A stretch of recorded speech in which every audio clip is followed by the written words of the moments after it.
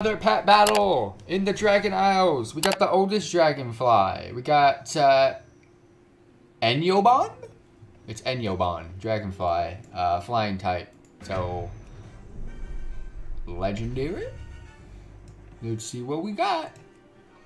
I've got two magic pets in the back. Oh, he's one of those. Interesting. Really though? I'm confused. But we'll, we'll, see. I should be able to survive another one. I'm just going traditional hits. Or traditional rotation on this. I'm not going to really mix it up. I don't think it has a heal ability. So I think we're good. Traditional rotation. Twilights, you can now die.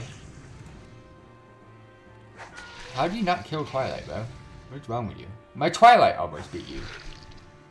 I said almost. It's possible that if you miss again, for whatever reason, you didn't hit me. Did I really? Did I really just solo you with... There's no way.